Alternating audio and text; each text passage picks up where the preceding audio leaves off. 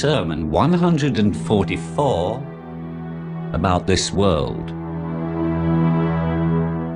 O people, you are in this world the target for the arrows of death. With every drinking there is choking, and with every eating there is suffocation.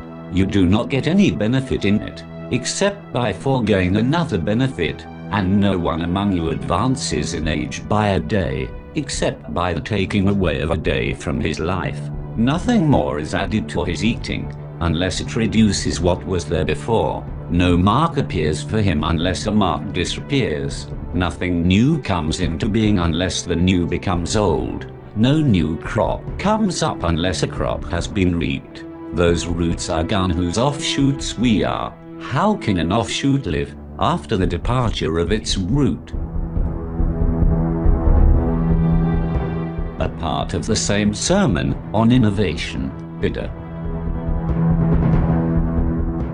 No innovation is introduced unless one, sunnah, the prophet's holy deeds, is forsaken. Keep away from innovations and stick to the broad road. Surely the old tested ways are the best, and the innovated ones are bad.